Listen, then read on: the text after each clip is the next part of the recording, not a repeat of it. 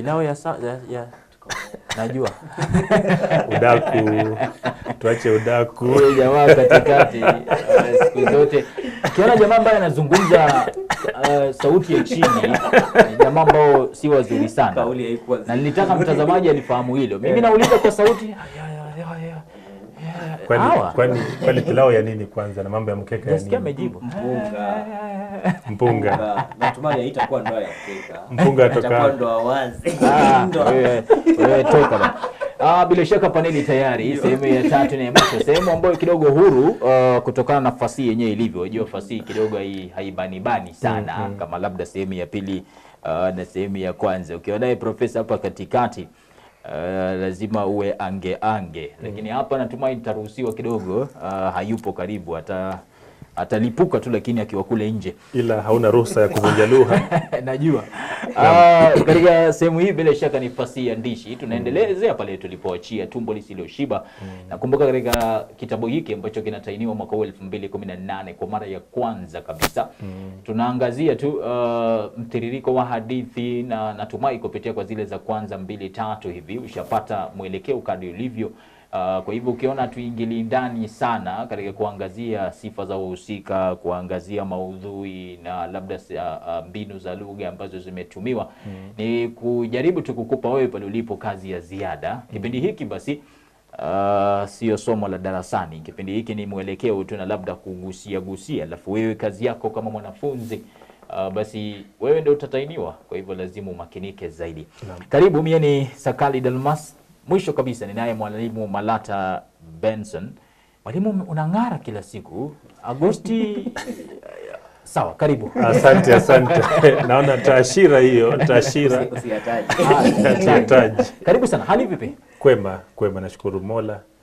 Uh, natamani angalau ingewezekana Mungu angeniongezea hata kama ni masaa mawili tu kwa masaa ishirini na manne hayatoshi, ishirini na manne hayatoshi. Hata usingizi hauji kaka, Naam. yaani haupatikani kwa sababu ni mengi ambayo inafaa tuyaangazie tukiwa katika aushi hii ya, chi, ya Mola chini ya jua. Mtaka siku zako Naam, angalau aongeze tu masaa mawili tu, ningeshukuru sana. uko na, na uhakika uko peke yako katika ombi hilo. Ombi letu tunaomba zipunguzwe. Ah, ah, ah, tuje hapa likizo, uko wapi? Uko nyumbani Busia ama Likizo Nimekupangilia ni kupangilia mikakati Naam. mikakati na pia vile vile tunazunguka katika mikutano mbalimbali kuhamasisha kuhusu lugha ya Kiswahili. mm -hmm. Uh, juma hili nimekuwa Busia, nimekutana na baadhi ya wataalam, no. walimu na hata washirika katika sekta ya afya nikiwazungumzia kuhusu eh, ubora wa Kiswahili na pia vile vile natu, natu, na, ninajua wanatazama kipindi hiki sababu tume tume tume, tume, tumewazungumzia sana no. alafu angalau juzi tumekuwa na kongamano la walimu wakuu katika katika kaunti ya Kakamega ambapo pia najua kwamba wanatazama wana, wana, wana sana kipindi hiki Naam. yeah. Kwa hivyo ni kuzungumzia Kiswahili kwa ujumla. Aha. Naam. Nyinyi kwa hivyo nyinyi ndio wale uh, wale ambao Twalala Kiswahili, uh, tuamka wote Kiswahili, nimalize. twala kuzungumzia hilo. Mwalimu, ili si wewe nakutaja, ila tu tunazungumza na mwalimu Otieno. na. Mwalimu Otieno, umeona wale jamaa ambao wanapewa muda wa mapumziko hata kazini, lakini bado wazungukia zungukia tu nyuma nyuma, unashangaa ujamaa vipi bana, haendi nyumbani. Eh, mwalimu, nasikia ya haondoki. Si banduki. Haya, banduki kabisa. Malata amekwama pale lakini si kwa ubaya. Unajua likizo si likizo ya Ya mwalimu. kupumzika. Ni likizo Ya ya kuji- kutofanya kujipanga. yale ya kiada Naam. na kufanya mengine mapya ambayo unaweza kuyafanya. Hiyo ndio maana ya likizo. Alafu ualimu hauishi shule zinapofungwa. Wajua lazima ufanye matayarisho mengi sana. ujipange. Naona kama sasa tulikuwa tunashughulika tunaanza kupanga mipango ya kuangazia chozi la heri. Naam. Sasa lazima ukae kila wakati mezani pale, tao iwashe na usome hata pengine mpaka saa tisa, kwa sababu Bwana Malata anasema Mm. anaomba angalau masaa mawili yaongezwe kwa siku mm -hmm. ili muda uweze kumtosha kufanya mambo mengine. Naam. Ndio. Uh, shukran walimu, mnafanya kazi nzuri. Mwalimu Malata, nafurahi kwamba pana kongamano la lugha ya Kiswahili ambalo anaandaa pale tarehe kumi na tatu kama sijakosea, Jumapili. uh, mwezi Mei mwaka elfu mbili kumi na nane katika Juma la pili, ya- juma la juma la pili. juma shule ya upili ya St Peters pale Mumias Naam.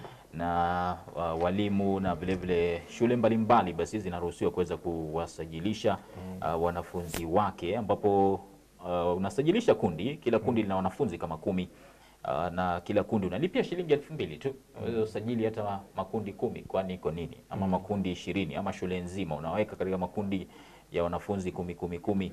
Uh, na kadi makundi yako yatakavyokuwa makubwa ama mengi, najua kwamba patakuwepo vile vile pale ondoa ondoa kidogo mm. uh, kwamba umeleta makundi mengi, kwa tutaangalia hayo Bila maneno. shaka. Uh, ni kongamano ambalo tutakuwa tunaelezea mengi zaidi. Shukran, kazi nzuri ukiwa mkuu wa idara pale Asante, uh, katika shule ya upili ya St Peters Mumias. Naam. Ndo hapo sasa fasihi ya ndishi tulimalizana na na ilikuwa Mame Bakari ilikuwa ni ndoto nini Masharti.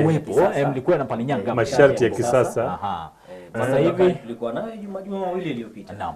Sasa hivi ndoto sasa leo Kuna angalau mdokezee tu masharti ya kisasa. Eh, masharti ya kisasa kwa ufupi, Kidawa alimpata dadi chuza samaki. Mm. Kidawa msichana mrembo sana aliyesoma hadi kidato cha. Dadi mvulana yule darasa la tatu, pengine kama alifika, Mungu ndiye anajua, Mm. lakini wengi walimtaka Kidawa wakashindwa. Wenye nacho wasinacho, Mm.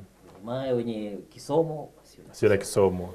Kidawa akatupa nje, akakata, akamkubali dadi mchuza samaki. Lakini mchuza samaki, jamani, tangu lini atafikiria kisamaki pia? Mm. Kataa kumwelewa Kidawa, akaanza kumfuata kila pale, akiwa anamuuliza mbona ulisimama na fulani, mbona mm. ukaongea na Delmondo, kuna kitu kati yetu. Sasa akaanza kumfuatilia. Siku ilipoisha, ni nini? dadi ndiye alianguka juu kutoka huko juu ya paipu fulani na Paipu fulani, kwa hiyo mashati kisasa. alikufa, Yeah. nitaomba Mungu asife, Pone aone siku nyingine mambo yakiwa sawa. Na ndiposa leo sasa Ndio umenitaja huyu jamaa naona na ndiposa leo tunaangazia Ndoto ya mashaka. ya mashaka. Ndio. Maneno matatu. Ndoto ya mashaka. Naam. na neno la katikati tusisahau ni kivumishi cha au nganifu kinamuunganisha ndo tunaunganisha ndoto na yule mhusika ambaye anaitwa mashaka. Naam. na inategemea pia tunaposema ndoto ya mashaka kwa kauli moja natumai tuliafikiana kuwa kuna mashaka mara mbili katika hadithi hii kabla sisi kuanza kuingia ndani. Mm. kuna mashaka mhusika na pia huyu mhusika mashaka pia amekumbwa na mashaka mengi. Mm. kwa hivyo jina lake hilo lilikuja likamfaa kwa mujibu ya yale matukio ambayo anampata maisha. Sasa moja kwa moja katika hadithi ndoto ya mashaka, sehemu ya kwanza kabisa tutaona utangulizi nini. mm. Katika utangulizi wangu ni kuwa nitaanza kwa kutaja ule mtindo, mm. licha ya kuwa mtindo tunastahili kuutaja baada ya kukamilisha kusoma mm. kazi ya fasihi. Naam. Mwandishi amegawanya hadithi hii katika vitushi tofauti tofauti Sita. e, kuonyesha kuwa mtindo wake si mtindo sahili mm. bali ni ule mtindo changamano kuandika kazi mm. za fasihi. Mm, Sasa mwalimu ameniongezea kusema kuwa amegawanya katika vitushi sita tofauti tofauti. Naam. Ya, na viko sita. Kila sehemu iko na wazo lake tofauti. Tofauti. Kwa mfano katika sehemu ya kwanza kabla ya vile vinyota anazungumzia ua la mawaridi. na poso, utaona nyuma yangu hapo kuna ua la ambalo limewekwa pale na mwelekezi. mm. Amefanya kazi nzuri sana. Mm. Litazame ua hilo la mawaridi. Ni ua bora kabisa, lapendeza. Ukiliona utatabasamu. Naam. Hasa ukisoga ukisogea karibu, ua lile linanukia. Na wengine wanaochagiza watasema kuwa pengine maji yatokayo kwa yale maua Mm. yakidondoka huweza yakampa mtu fulani afueni aliye na maradhi fulani. Kwa hivyo ua hili la mawaridi linakuwa bora, linazidi kuchanua vizuri na kunawiri Mm. hali inapokuwa shwari kabisa. Lakini wakati ambapo sasa ua hili litaanza kupata hali isiyokuwa nzuri, litaanza kupigwa na dhoruba kali ambalo uwaili aliwezi haliwezi kustahimili, basi uwaili litakwanyuka kutoka kwenye ki, ki, kinili chake. Na ndiposa na ndiposa unapochunguza ubetu wa kwanza wa pili wa tatu wa nne mm -hmm. yasema kwamba zama hizo waridi limewivia rutuba bivu kabisa. Mm -hmm. limeshakoga maji yake ya wekundu na kusharabu umande. Wekundu ukaligandama waridi na kuliathiri na bila shaka jinsi ambavyo kakangu anavyozungumzia kwamba katika vipengele hivi sita migao sita ya hadithi hii ya kurasa kumi na nne eh, ndoto ya mashaka kipengele cha kwanza kimeanza na taashira. Taashira hii inaanza kwa neno la kwanza tu. Sentensi ya kwanza inakamilika na neno waridi. Imeisha. Yani, yani sentensi imeanza neno waridi. Na imekamilika hivyo. Utakuta kwamba waridi katika hali hii yawakilisha maswala mawili. Jambo la kwanza unapochunguza ni jina la La muhusika. atakayemzungumzia, alafu jambo la pili nawakilisha ua ambalo kakangu amekufahamisha hapo nyuma kuhusu ua bora, ua ambalo ni tamu sana na linafurahisha macho, unapotazama unafurahia nawe pia, ua ambalo maji yake yani kila kitu eh? kuhusu waridi. kuhusu waridi ni kizuri kabisa, na pia anasema kwamba yani kuna mawe mengine mazuri na mawe mengine mabaya, lakini akiuliza kuhusu ni, yapi mazuri na yapi mabaya atashinda, lakini anajua kwamba kuna maua mazuri na maua mabaya. Kwa hivyo anaanza kwanza katika mbinu ya ta, katika taashira ya kwanza kwa kurejelea huyu e, muhusika waridi. Tutakayemzungumzia hapo mwanzo. Na pia katika kipengele hicho cha kwanza unapochunguza katika ukurasa wa 71 aya ya pili utakuta kwamba tunapata muhtasari wa hadithi hii na kusomea tu mistari miwili mstari mmoja tu. Tuligandamana tukawa kitu kimoja mie na waridi mpaka pale dhuruba ilipotutenganisha. Kwa hivyo sehemu ya kwanza tu hiyo inatoa muhtasari.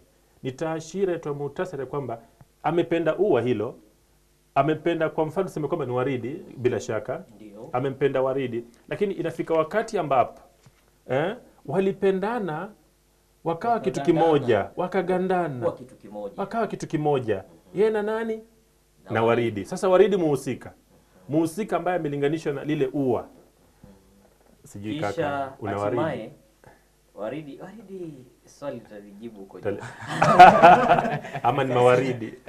Mawaridi la waridi. Nime- nime- nimekufunga bao. Waridi, waridi, waridi yupo, waridi yupo na ujasiri. sasa eh, kwa hivyo ikawa kwamba walinganama ku- kuwa kitu kimoja mm -hmm. na lakini mpaka pale dhuruba ilipotutenganisha kumaanisha nini ya kwamba kuna hali fulani ambapo japo amependa hili ua no. lakini kuna uwezekano kwamba angalau hilo ua eh, kuna kuta, kutenganishwa pamoja yeye huyu kaka mashaka na waridi labda bila shaka tuingilie sehemu ya pili Ndio, lakini kidogo labda mchango tu kusemia kwanza. tu- tu- tuone pia lile ua Mm. ndo lilikwanyuka au mhusika ndio alitoweka.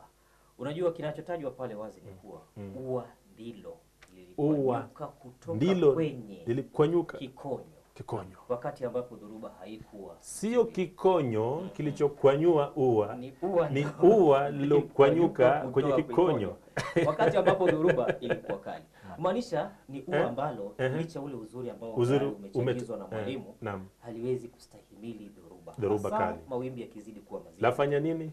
Linakwanyuka. Kutoka kwenye kikosi. naam. Kwa hiyo hii ni sehemu ya kwanza Naam. ya ule utangulizi. Ndio. Na utangulizi huu unaenda kutupatia picha ya matukio ambayo tunataka kuyarejelea yote matukio yaliyofanya ua likakwanyuka Likakwanyuka. tutakuja kuona lile ua Mm. ni ua lipi Mm. na je kulingana na yale maelezo Maelezo. je maelezo yatafaa ua Naam. la mawaridi yes hilo jambo la kwanza naam pili tutakuja kuangalia zile dhoruba no, ndio na hizi ni dhoruba gani hizo dhoruba gani zipi hizo? Eh. alafu je ua litakuja kukwanyuka mm.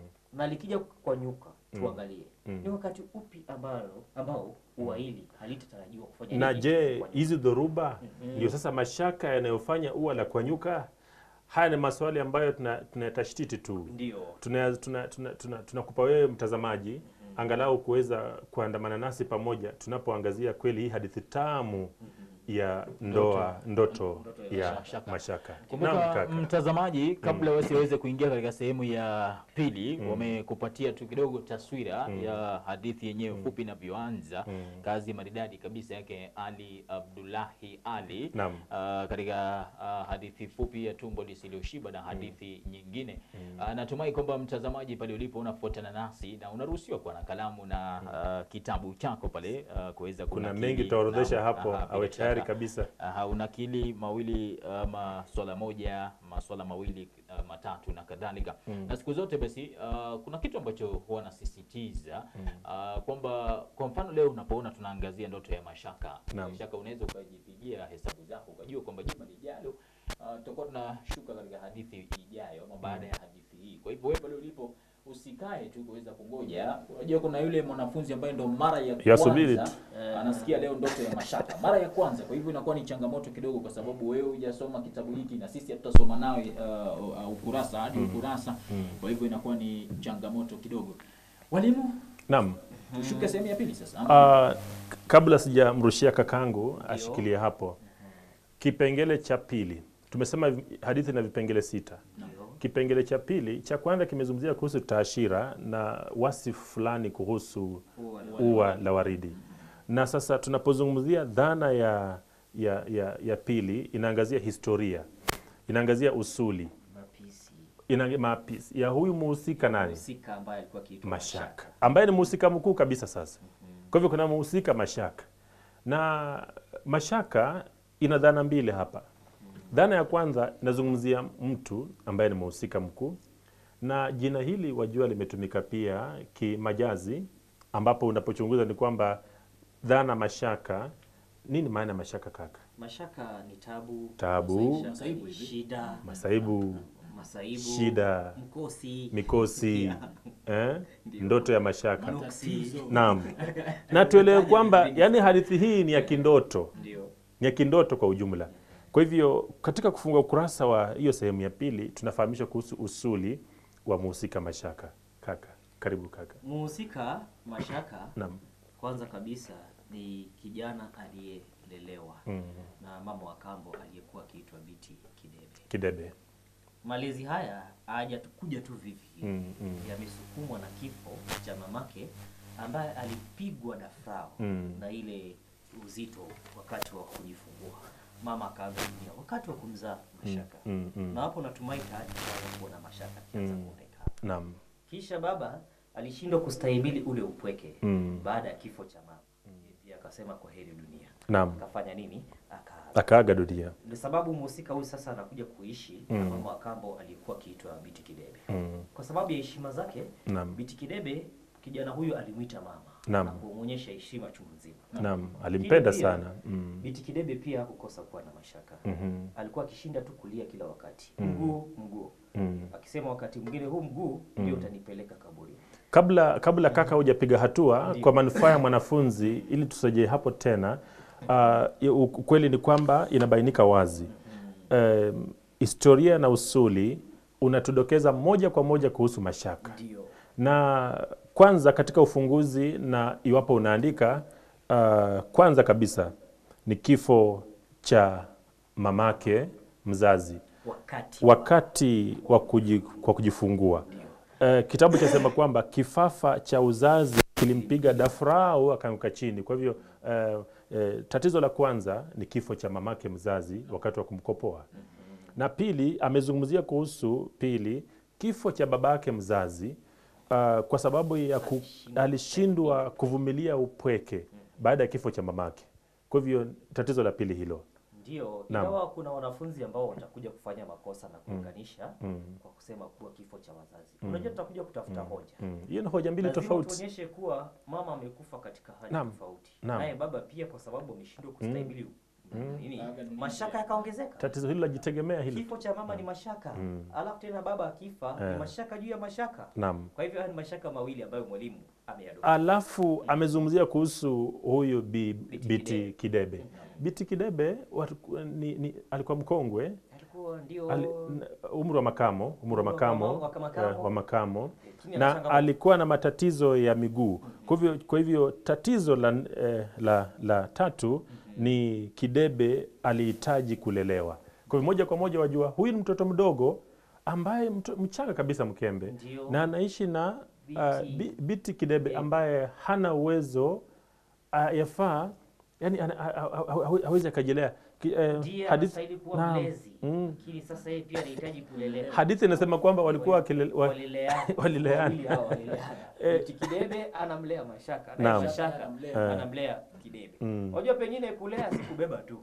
Huenda Kidebe ni mzito zaidi ya Mashaka. Mm. Pengine kule kutumwa, fanya hiki, Mm. fanya hiki. Na unajua katika kauli hii ya maji. haya, Mm. mtoto anakomaa kabla umri wake.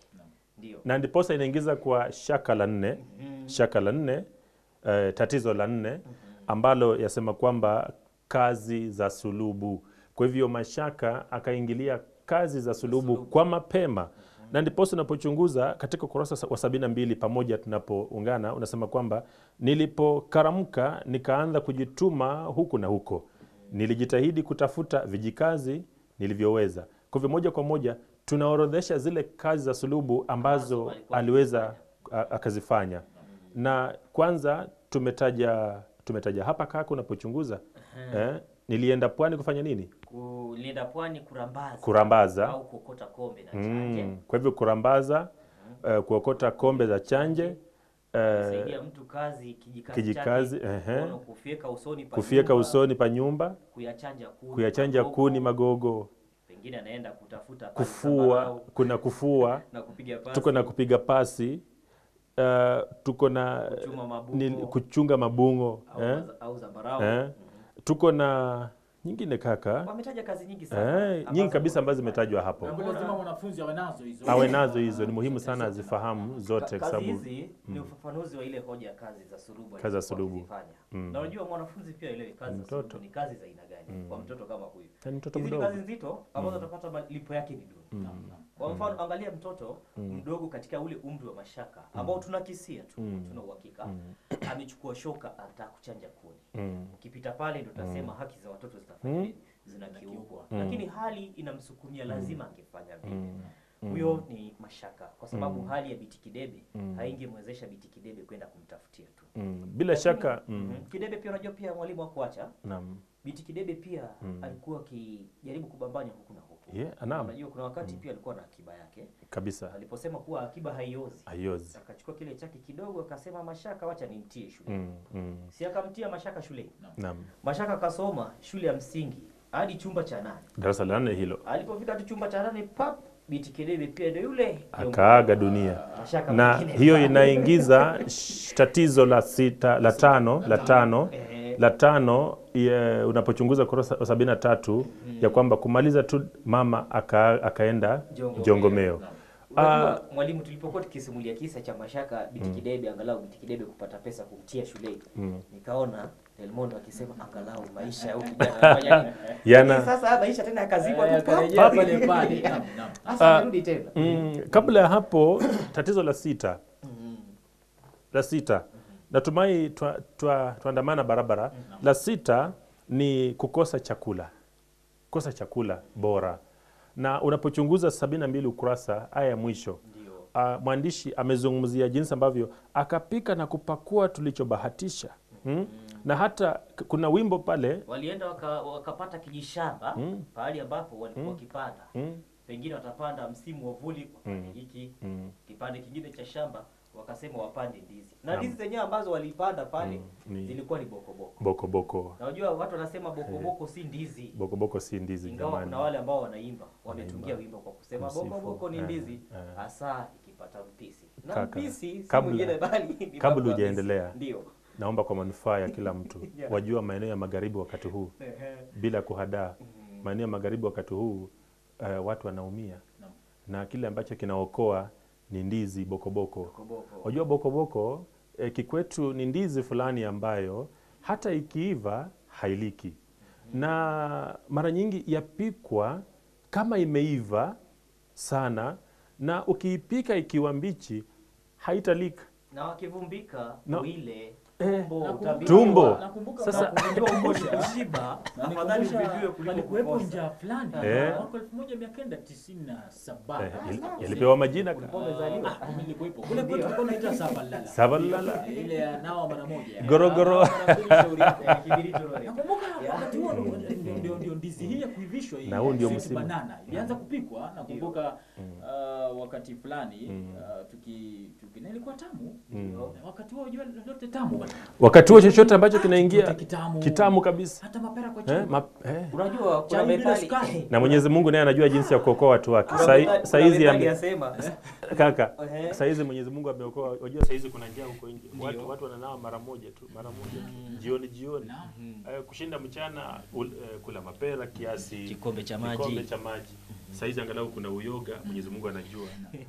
Kuna kuna kumbikumbi zimo bugia eh, hata mboga hata mboga maboga maboga yamejaa. utakula juma zima Naam. kuna wakati mboga zipo na wanajua Mungu ni mkubwa siku zote. Ndio. Mwalimu Malata huwezi ukajua alipitia hayo.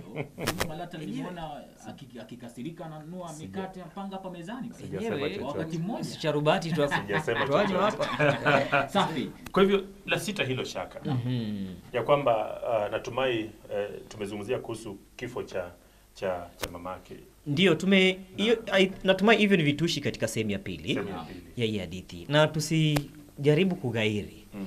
Umuhimu wa ndizi bokoboko ambao walikuwa wamepanda. mm. Watu mtaani wanasema bokoboko si ndizi. Kuna wale wanaojiweza wasema si ndizi, Eh, wale wanaojiweza kuna wakatao kauli hiyo. yeah. Lakini kuna wale ambao wana- eh, bokoboko imeokoa, Kuna wale ambao bokoboko imeokoa, ndio sababu wanaimba ule wimbo. Basi huu wimbo unapoimbwa Eh, jaribu kutuonyesha pia. Kuna mambo pia kwetu yanaweza kuwa si ya maana, mm, lakini kwa watu wengine yanaweza kuwa na umuhimu. Mm. Kwa mfano mfano mm. inawasaidia Biti Kidebe Mm. na huyu mtoto wake ambaye alikuwa ni Mashaka. mm, Sasa kwa hivyo bokoboko ilikuwa ina umuhimu na inatusukuma kwenye ile methali ya matango mm. na tikiti maji ndiyo maponya njaa. Maponya njaa. Waweza kukumbuka kumbuka hiyo kauli? kabisa. Sasa haya ndiyo amekuja kuponya njaa ya wahusika hao. Mm. Sawa sawa. Kipengele cha tatu Mm -hmm. sehemu ya tatu.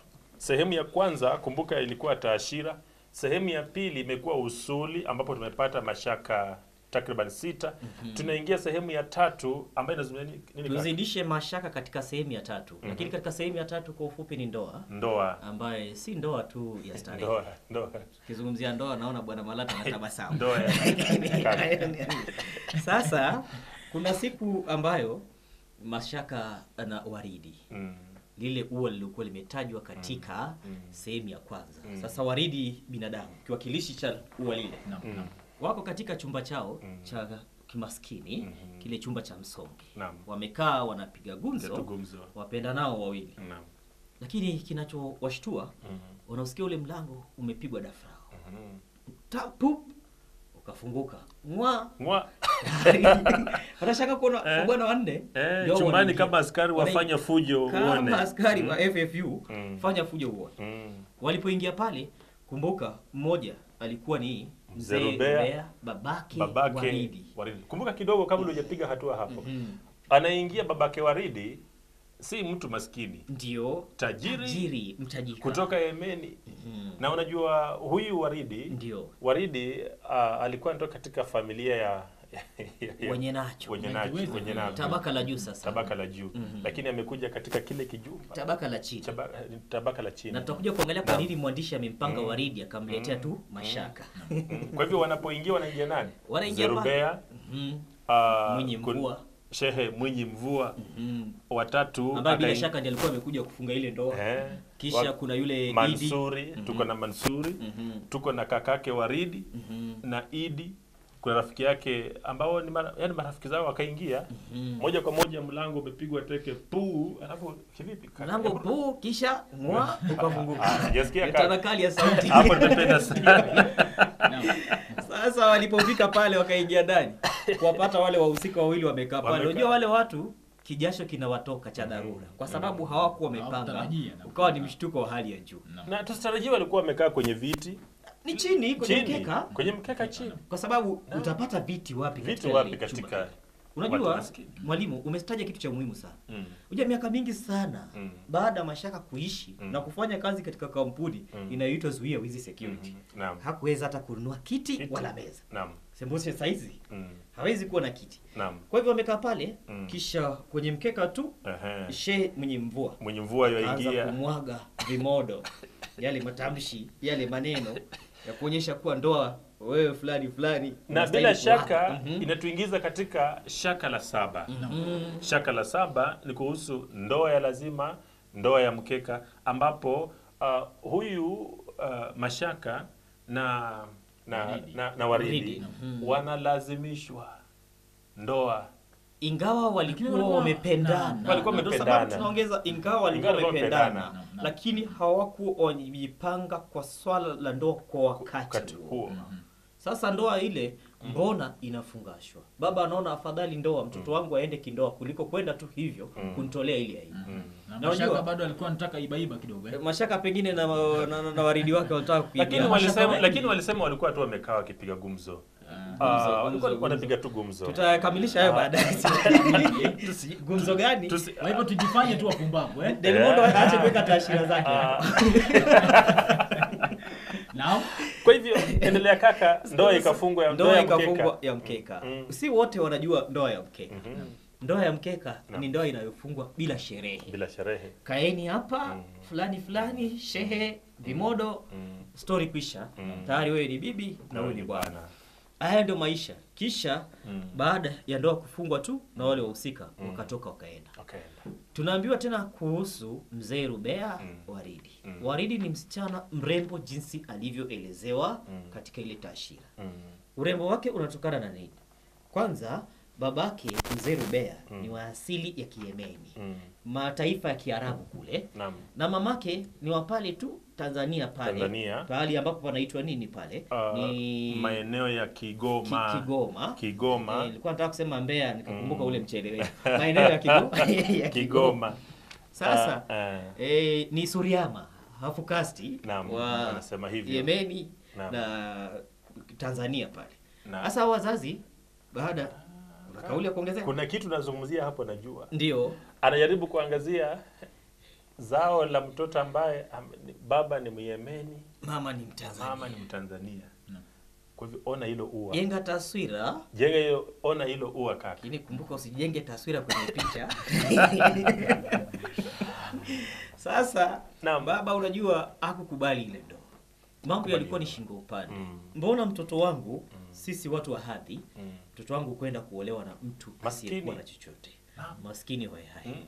Kwa sababu ya ile aibu Mm. alisema hawezi kuistahimili Mm. akachukua familia yake yote iliyokuwa imesalia pale nyumbani ndege mm. wakaabiri wakarudi Yemen. No. Waridi abaki na mashaka wake katika hali kubwa ya mashaka. na niposa kufikia hapo tunapata uh, shaka la nane mm -hmm. shaka la nane kwamba ndoa yetu na waridi litia doa na doa pandikizi katika familia nzima ya mzee rubea walikosa raha kweli kwa hivyo jambo la kwanza ni mzee rubea kukataa hiyo ndoa. Shok- eh, hiyo hiyo ni shaka la nane. Shaka la tisa mwalimu- oje amezungumzia hapo ya kwamba hali eh, aibu ilipowazidi wakakimbilia yemeni walitorokwa Ya, sasa. kwa hivyo uh, kutorokwa na mzee rubea. Rubea, babake Waridi. babake waridi mm -hmm. na mamake waridi. Unajua ni kana kwamba wale watoto sasa mm. kitu ambacho kitawashtua na kuwakwaza moyoni Mm. hawana baraka Hawana baraka ya wazazi.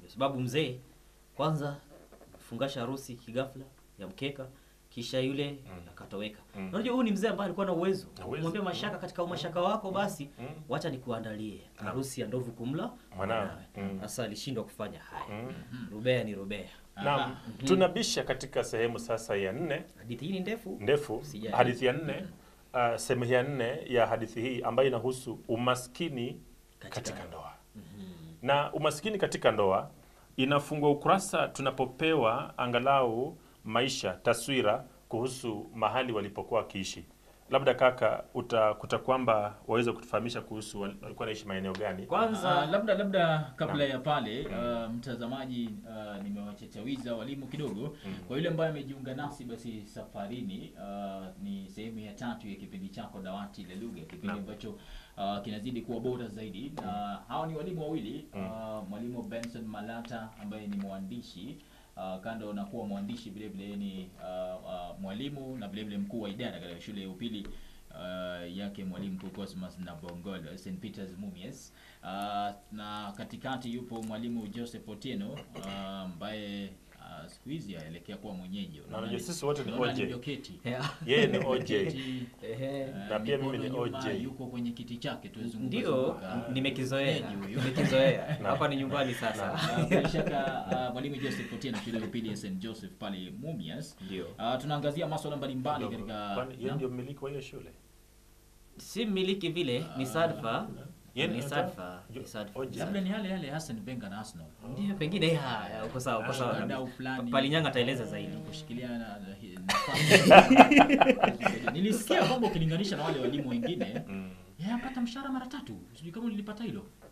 nakwambia Tuache, ni nyongwe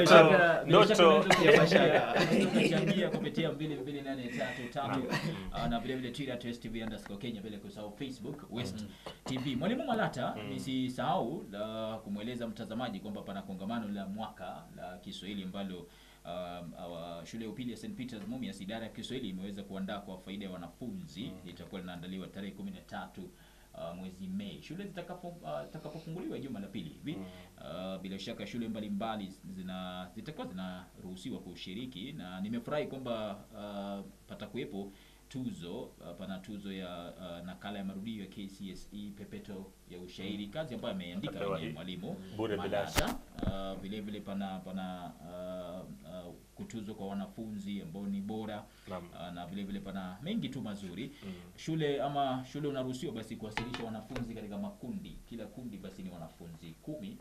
Uh, unaweza ukasajilisha makundi kadi ya uwezo. Kusajilisha ni shilingi elfu mbili tu. Uh, bila shaka nisije nikaenda sana ika- ikafika kwamba nimeshuka katika idara ya mauzo. Wacha niliachie hilo pale. Mm. uh, tuendelee sasa. Sa- tupo Kipengele Ndoa- cha nne, ndoto ya ma- ya ya mashaka. mashaka. na, na itabidi tu, tuende kwa kasi kidogo Kwa sababu ya kumaliza. bado hadithi iko ni ndefu. Uh, kipengele cha nne mm -hmm. sasa kinaangazia maisha katika ndoa. Sasa wakati huu wameoana, uh, mtu mme na, na, na mke mm -hmm. wameoana kwa ile harusi ya mkeka, na tunapelekwa moja kwa moja kuhusu makazi walikuwa wakiishi. mm -hmm. Uh, moja kwa moja tunaambiwa kwamba mtaa waliokuwa wakiishi, kaka, umepewa jina Mtaa ulikuwa ukiitwa mtaa wa Tandale. mtaa wa ule mtaa ambao uliimbwa na Diamond. Naam. Eh, sasa unajua Diamond alienda Tandale wakati Mm. alikosa senti. Mm. Sasa kumaanisha huo ni mtaa ambao walikuwa ukiishi pale ni wakosa senti. Mm. Eh, sasa katika mtaa wa Tandale Mm. yasemekana walikuwa wanaishi katika chumba cha kupanga. Mm. Chumba kimoja Mm. ambacho kilikuwa kimekumbatiana Mm. na choo cha jirani. Mm. Choo chenyewe ungekiona kimejengwa juu juu kana kwamba ni ghorofa. Hizo ndio hali ya vyoo vilivyokuwa vikiwa pale Tandale. -huh. Na vilikuwa ni nadra, havikuwa vingi. Taswira ya mtaaduni sivyo, ambao una, unawasilisha Isitoshe, ubavu wa nyumba yao ilikuwa ikioshwa na maji ya mfereji ambao walikuwa wanaitwa mfereji, mfereji wa, wa China, Ah, alikuwa ni maji taka bila shaka sewage. maji machafu haya. Na huu mfereji mm. pia ulikuwa kielekezo kumwaga yale maji taka katika mto ambao ulikuwa ukiitwa mto Msimbazi. Msimbazi. Hiyo ndio ilikuwa taswira iliyokuwa pale. Watu wakaazi wa Tandale walikuwa naomba sana mvua isinyeshe. Mm. Kukinyesha kutafurika mm. kila pahali, kabisa. wakose hata vyoo Mm. wakati mwingine Mm. na mara nyingi walipokosa choo Mm. choo ungekuwa nacho ilikuwa ni starehe Naam. walikuwa wakitumia fataki mm -hmm. vyoo vya karatasi tumia rusha tu sikia tu una- una- una- unasikia sauti tu eh, tembea pale ukienda kunasa habari zako kama wewe ni Dalmas kwa uso kwa sababu fataki itakupata usoni chumba chao pia kilikuwa duni Naam. Ukiangalia mabati yalikuwa pale yameshika kutu mm. mvua ikinyesha mm. wote walikuwa wakizunguka ndani ya chumba huku na huku wakitaka kuokoa mm. yale machache ambao walikuwa wameyachuma maishani Naam. hali ndivyo ilivyo mm. na isitoshe walikuwa wamejaliwa mm. mashaka na waridi katika hali ile kubwa kabisa ya umaskini wamezaa watoto saba Watoto saba. Na maisha mabaya watatu mapacha mara tatu watoto sita Mwenye- Mwenye- Mwenyezi Mungu alisema kwamba ingieni duniani na mkajaze. Kwa hivyo walitii sheria kabisa. kwa hivyo walijaza tandale Naam. wakauongezewa mwingine wa juu wa ziada wakawa watoto saba saba. kwa hivyo chumba kimoja kisichokuwa na chochote mm. watu tisa wanaishi pale ndani Mm. ilibidi baba aelewane na mama aambie mama katika kitanda hiki cha mayowe lala usiku Mm -hmm. wasichana chukueni msala jamvi tandikeni chini mlale ikifika mchana kunja jamvi weka pale wageni wakaenda. Wavulana wakaenda kulala kwenye jiko ambalo lilikuwa jiko la kuombwa. Naam. baada ya mashaka kwenda kumpigia jirani yake magoti. Jirani yake alikuwa akiitwa bwana cha kupewa.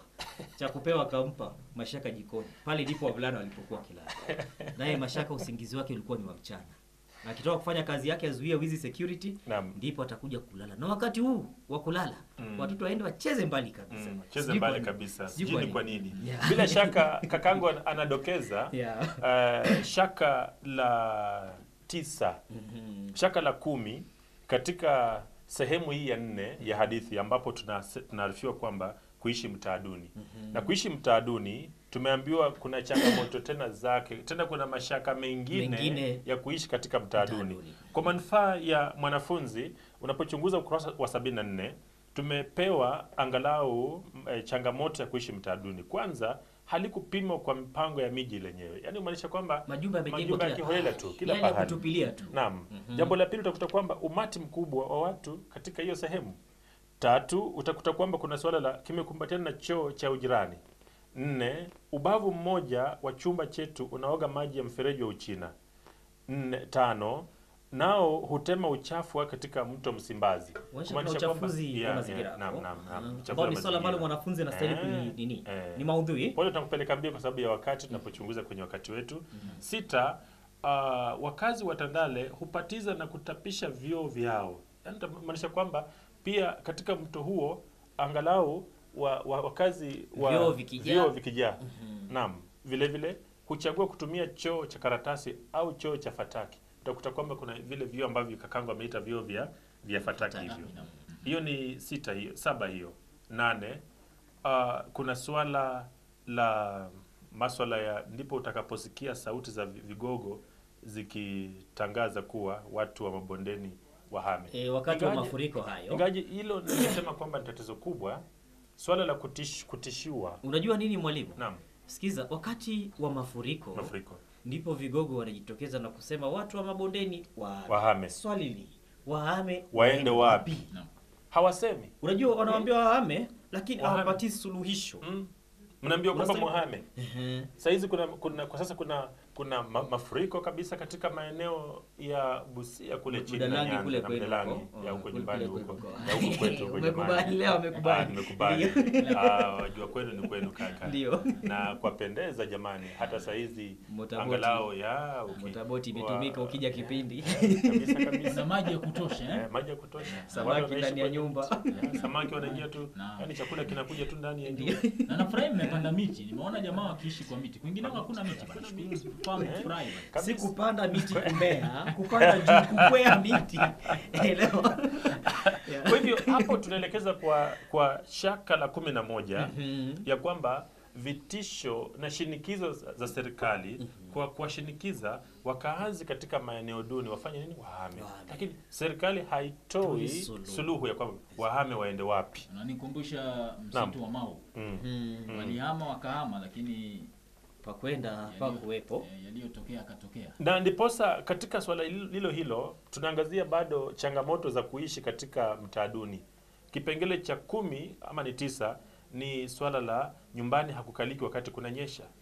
Uh, kumi na moja ni swala la uh, yani chumba hakitoshi, chumba hakitoshi, na vile vile kuna wengine saba, kumaanisha kwamba alikuwa na familia kubwa sana. ndio Natumai hiyo kama ta- tatizo kuu hilo. Hilo tatizo kuu? Tatizo kuu sio chini ya mtaduni, tatizo kuu. unajua huwezi mtofauti unaweza mlinganisha na yule mhusika wetu ambao tulimsoma katika hadithi iliyopita Mm.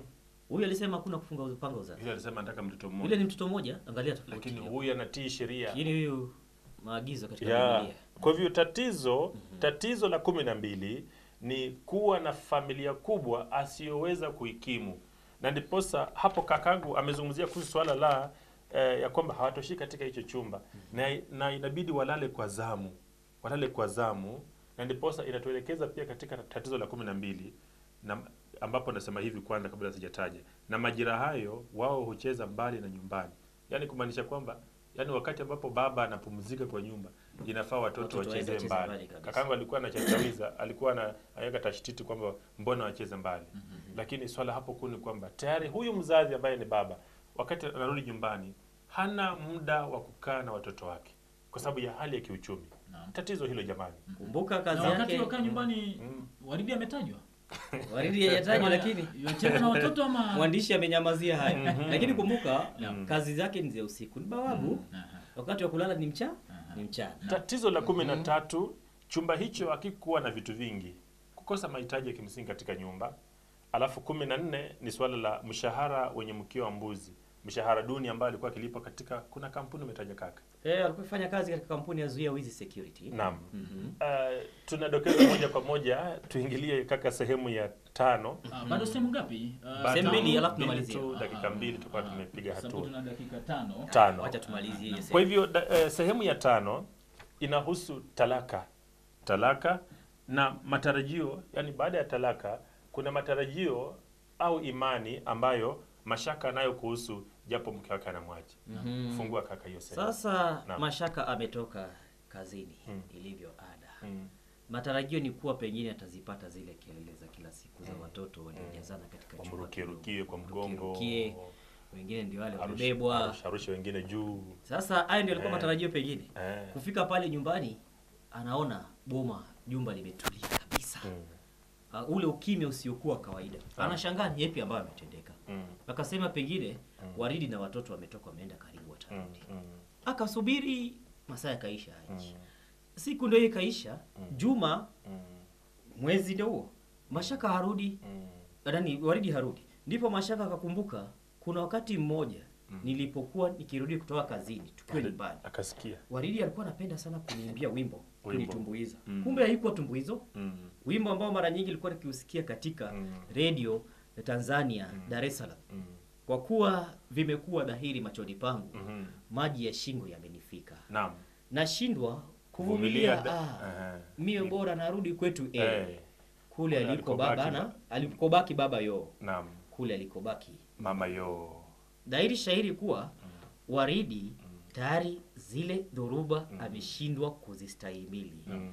anakwanyuka kutoka kwenye kikonyo Shaka la kumi na nne hilo, shaka la kumi na nne hilo ambapo Waridi kumtoroka Mashaka. Sa- sasa bwana huyu alipokuwa pale bado anawaza yale mm. yaliyokuwa kimfika anaona pengine Waridi amemtoroka kwa nini mm. amemtoroka kwa kwa sababu hana pesa Mm. angekuwa na pesa mm. angepenyeza rupia kidogo Mm. angalau lishimiri tabasamu machoni pa Waridi Mm. Angemnyamazisha kwa kutumia hela zake kama angekuwa nazo Mm. -hmm. akaanza pia kuota na kuwaza mm -hmm. je siku moja kunaweza kuwa na jamii mpya mm -hmm. jamii ambayo pengo kati ya kina mashaka Mm. -hmm. na wale matajiri Mm. -hmm. litakuja kuwa dogo kama haliwezi sawazishwa kikamilifu Naam. na akasema haya na ngoja subira mm -hmm. lakini asubiri mpaka lini Bili mpaka lini? amesubiri vya kutosha mm -hmm. lakini hali haibatiliki lakini katika ile ndoto yake Mm. Anaona mm. wasakatonge waliokuwa wakiishi pale Tandale Naam. wameshikana pamoja wakaanza kuwa na ndiposa hapa anaunganisha sehemu ya sita na ya mwisho Dio. sehemu ya sita na ya mwisho kuhusu siku njema siku nyingine ambapo ma- swala la mapinduzi. mapinduzi mm -hmm. ya wasakatonge Ndio. watu maskini katika sehemu ya mwisho ya hadithi ambapo kaka malizia ambapo kauli yake pia wale watu waliposhikana ni mawazo Wasakatonge. tu wasakatonge waliposhikana mm -hmm. ni mawazo tu ambayo washaka alikuwa akisema kuwa huenda watashikana au wasakatonge Mm. hali zao zitabadilika. Kwa sababu mm. ni kana kwamba jamii ya kimataifa imefungia masikio Masikio maswala kama ya na viongozi kila siku wana, wanawaambia unapochunguza 81 ukurasa eti mnanyonya mtanyonya kesho. Mm -hmm. yani wanaambiwa yani uongozi viongozi ni kama walikuwa wanaambia kwamba nyinyi mtulie tu nyinyi msu- msubiri kesho. Hali yenu itakuwa hali yenu itakuwa nzuri kesho. Na sasa hawa nao wakafika mahali wakakasirika, wakasema kwamba potelea mbali liwalo na liwe. walibeba mabango Walibeba mabango mm -hmm. na wakasema tunataka tufe bora, Bora tufe. tufe. Kwa hivyo maandamano ya wasakatonge katika eneo la Tandale mm yaka shika kasi. shika kasi. Nakumbuka Naam. hii ni Tandale iliyokuwa mm. ikipatikana sehemu hii ya Tanzania Mm. na mashaka anajiuliza, je, Tandale ngapi ambazo ziko hapa Tanzania? Mm. Tandale ngapi ambazo ziko Kenya? Ziko Afrika Mashariki nzima na Afrika nzima. Na je, Tandale ngapi ambazo ziko duniani? Mm. Chungu nzima. Mm. Lakini siku ambayo wasakatonge watajitokeza na kusema bora yawe, bora yeah. wafe. Mm. Hiyo ndio siku ambayo watahakikisha kuwa lile pengo linasawazishwa kwa angalau. Mm. mm. Kisha hayo ni matumaini ambayo anayo. Mm. Na anasema baada ya hapo anamwona Waridi anarudi tena. Mm. Wakati huu Waridi anarudi Mm. tayari ikiwa yale mambo yamesawazishwa. mm -hmm. Wanaishi maisha ambayo angalau ni ni kutafakari huko Ni kutafakari ndoto ndoto. tu. Ni ndoto tu. Kisha Ukatu. anaona maisha ni tofauti. Mm. Mapenzi yale yamezidi kunoga kati yake na Waridi Mm. kwa sababu angalau pesa senti zipo. Mm. Anapogutuka Mm. anashtuka tu ni ndoto, Ndoto. ameamka Ah. na kuangalia kando yuko katika hali maskini zaidi ya ile hali ambayo amekuwa akifikiria mwisho. na akasema kumbe Akasema kumbe nisingeota, nisingeota. na hiyo ndiyo ndoto, Ndoto ya ya mashaka. Sawa. Ah, bila shaka uh, hadithi ndefu kwelikweli, Ndefu kabisa. ina mnato wake, mvuto wake kwa yule ambaye anapenda fasihi. Kaka, nikiomba sekunde 30 tu kwa manufaa ya mwanafunzi nimtajie tu kwa swala la dhamira. mm -hmm. Kwa ufupi tu sana. Kwa ufupi sana. Kwanza uh, mwandishi amenunia amenuia kukashifu utabaka unaozidi kupanuka. Jambo la kwanza Mm -hmm. kukashifu utabaka. Jambo la pili swala la hatari ya umaskini. Hatari ya umaskini umeona kwamba imesababisha ndoa kuvunjika, magonjwa, unapochunguza ni kwamba vifo na kadhalika katika hiyo hadithi. Vile vile tatu ni umuhimu wa wanyonge kujua haki yao na kuwa na kauli moja kwa ajili ya kuitetea. Ma, maisha kule mwisho yanakuwa mazuri katika hiyo ndoto, kwa sababu wasakatonge wana, wanashikana wanaamua wote pamoja kushikana kwa pamoja na wanapigania haki zao mpaka maisha yanabadilika. Isitoshe, kuna changamoto katika ndoa ambapo unapochunguza ni kwamba ndoa baina ya Mashaka na Waridi inakumbwa na changamoto nyingi kwa ajili ya haya maswala, na mwisho lakini si mwisho, wanandoa kupewa fursa ya kuchagua wachumba. Ukweli ni kwamba ndoa hii ilikuwa ya kulazimishwa, ndoa sana. hii iliingiliwa sana. Ndoa hii ingeruhusu hawa wachumba wangepangilia, labda hata ungechunguza kwamba Waridi alikuwa tayari hata kumsaidia Mashaka, lakini sasa tayari wa- wame- wame- wameingizwa kwa haraka, na tayari katika wakati huo wazazi wanaamua nini, wanahama. Kwa hivyo utakuta kwamba wa, wachumba kupewa fursa ya kupangilia mambo yao pasi na kuingiliwa na wazazi, wawape nafasi katika eh, swala hilo, na bila shaka kufikia hapo unapochunguza ni kwamba uh, tumekuwa pia tukiangazia sifa za wahusika ndani sababu unapochunguza kuna mhusika mkuu ambaye ni Mashaka Mashaka. Uh, ambaye ni mume wa mume wa Waridi. Waridi. tuko na Waridi ambaye ni mke mke wa, wa, wa Mashaka Mashaka. Eh, tuko na biti mkwe, baba mkwe. ambaye anaitwa mzee Rubea. Najua Rubea nilikuwa ni pesa, kwa hivyo Rubea mtu wa pesa. Naam, na vile vile tuko na biti Kidebe. Kidebe eh, mama wa kambo mama, mama maskini ambaye anakufa. Uh, kwa hivyo nahusika wahusika wengine hapo ambao kwa mujibu wa mwanafunzi tunampa nafasi baada ya kuelewa mtiririko wa hadithi. aweze ku Aweze sifa za wale wahusika. Ah, iwapo umekuwa nasi tukiangazia hadithi nyinginezo na vilevile vile vile tamthilia ambayo tayari tulishaikamilisha, Uh, bila shaka una uwezo mkubwa kabisa kuweza kuzipata sifa uh, za, za, za wahusika mbalimbali uh, na labda kuweza kujitafutia vile vile uh, maudhui hata dhamira kwamba unaweza ukajua hadithi nitoka wapi na kwenda wapi. Uh, muda wetu ushayoyoma kweli kweli, naambiwa kwamba tumesonga sana na muda, kwa hivyo labda itabidi wakati mwingine Kipindi tuimarishe kirefushwe. kidogo na, na tuanze labda mapema ama mm. uh, kirefusha anavyosema mwalimu Malata. Ah, shukrani mwalimu, sijui kama hapana lolote la ziada mwalimu Otieno. La ziada si vile, tumeongezea mengi, tumezungumzia mengi, Mm, lakini natumai mwanafunzi anajitayarisha juma lijalo soma hadithi Kidege, mm. kwa sababu juma lijalo tutakaa papa hapa kufichua tashira zinazopatikana katika hadithi ya Robert Oduor Kidege. mm -hmm. Natumani tumai bwana Malata namfahamu Robert Oduor, Naam. si mwandishi mm. hewa jinsi walivyo waandishi wengine katika diwani Naam. hii. Ah, hadithi. Kidege pana pana sehemu yote labda Kidege kwanza naisubiri sana kwa hamu kwa sababu mwandishi wa hadithi hiyo mm -hmm. ni uh, alinifundisha eh, chuo kikuu cha Moi Moi. Mm. na namfahamu baraba rafiki yangu kabisa Robert Oduor kutoka Busia Busia, County. mm. Ya, kwa hivyo angalau mambo ya county itakuwa hapa juma lijalo. Aliandika Kikaza. Kikaza na kikawakaza sana wanafunzi. na natumai kwamba pana sehemu yoyote ya kula popote hata pana mwisho tu katika kidege kuna kula mm. lakini unajua vipande ambavyo utabeba mfukoni utabeba beba vipande vya sima kiporo kwa sababu hicho ndio chakula ambacho kimehitaji. Sehemu hiyo juma lijana nimekumbuka kazi ya Juma lijana Gabriel atawasilisha sehemu hiyo. Ah, mwalimu Malata lolote Mimi langu tu naomba kuwatakia fungate njema. Uh, mwanafunzi wangu anaitwa Esther Pindeker anafunga ndoa kule Kakamega Mkumu, mwanafunzi wangu katika shule ya upili ya Bulimbo, na anafunga ndoa na bila shaka Bulimbo yote iko huko, na pia nikitoka hapa naenda kumeza keki. Kwa hivyo uwanja wa ndege hapa mbio mbio hadi Utaandamana, eh, moja kwa moja. Kazi tu kwa ajili ya mwanafunzi kule nyumbani. Naomba uniangazie maudhui yafuatayo. Kwanza, maudhui ya ufukara, kazi ya ziada. Pili, mikosi katika maisha. Tatu, ukombozi. Nne, ujenzi wa jamii mpya, tano utabaka, alafu na mapenzi. Shukran uh, mwalimu uh, natua ki, ki, Kidrama. Shukran mtazamaji kuweza kuandamana nasi katika kipindi hiki cha dawati la lugha. Usikose basi kuwa nami hapo uh, saa mbili usiku katika taarifa za West TV jioni na vilevile kipindi cha Ngware. Leo tutakuwa na wawakilishi kutoka kaunti ya Kakamega tukiangazia uh, kongamano hili la tano la ugatuzi ambalo linaandaliwa pale Kakamega. Tutakuwa tunazungumzia masuala mawili matatu kuhusiana na kongamano hilo na labda umuhimu wake kwa uh, eneo hili letu la magharibi. Uh, shukran walimu kufanikisha sehemu hii, mmesalimiwa sana na uh, mshairi chipukizi anaitwa Daniel Wanyama. Wanyama. Asante, asante. Tumezipokea. Salimu sana sema Asante kaka. Najua sasa uzito. Ugali. Eh, ugali wa- Kwa niaba ya Palinyan Gabu ambaye alifanikisha sehemu ya kwanza, mie ni Sakali Dalmas na kutakia wakati mwema. Zidi kutizama vipindi vyetu mbalimbali vilivyosalia, na shukrani kwa muda wako siku zote. West TV tunasema tazama ilivyo. Shukran, kwa heri. Sadakta.